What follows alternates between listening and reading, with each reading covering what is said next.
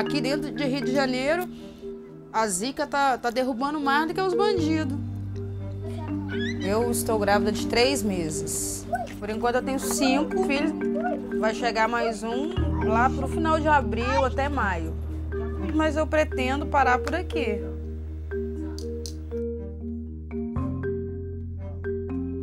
A Cauane, minha filha mais velha, ela já teve zika. Ela ficou de cama, ela não levantava. Eu pensei que essa minha filha ia morrer. De tão ruim que ela ficou.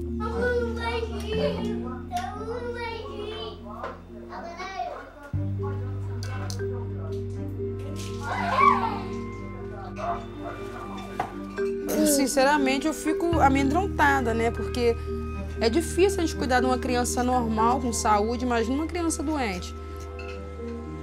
Então, se a gente tem medo, é prevenir. Eu não posso ter mais filho. Aí acontece de eu engravidar. Aí um mosquito desse me morde. Além de eu não querer ter o filho, o filho ainda vai vir deficiente. Vamos, Magali.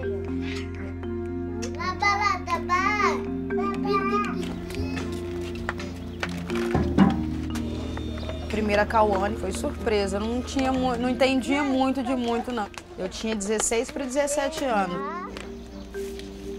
A gente era de menor, a gente ficava com vergonha.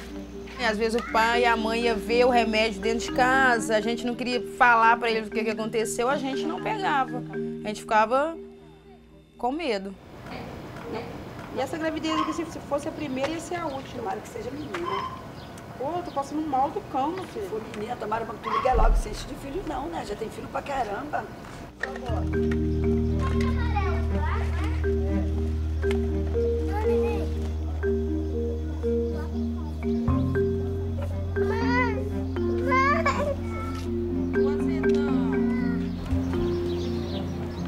plano é o seguinte, eu, deu, durante a gravidez eu tenho um planejamento familiar pelo SUS. A ligadura já, já existe aquela fila de espera. Você pode esperar um mês, mas também pode esperar um ano, dois. Mesmo que eles não me dêem essa ligadura, eu arrumo um jeito de eu pagar ela.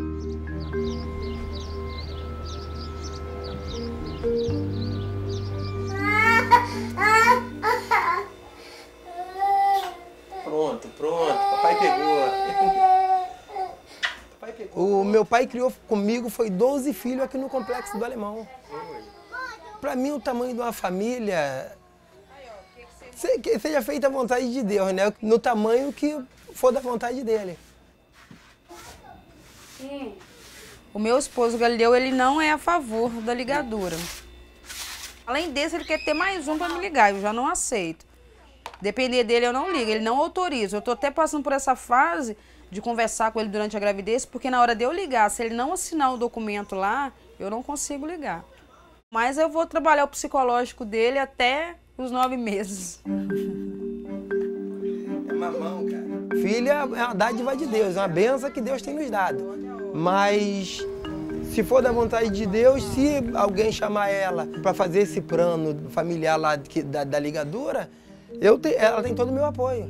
Que também é, eu, eu preciso dela e da saúde dela estar do meu lado. Comunidade são pessoas que não têm é, situação financeira de estar morando lá embaixo, não, tem, não teve oportunidade na vida, mas são pessoas de caráter e dignidade, como qualquer outra. Hoje a gente tem o problema da zika e o governo ninguém faz nada, porque eu nunca vi eles vindo aqui um, um mutirão para poder jogar remédio, aqueles carros enfumaçados, eu nunca vi. Já passou da hora de, de ter uma lei. Se a mulher não tem condição, se ela vive na rua ou por causa dessa epidemia, o governo tinha que dar uma chance para essas pessoas ligar. A gente está.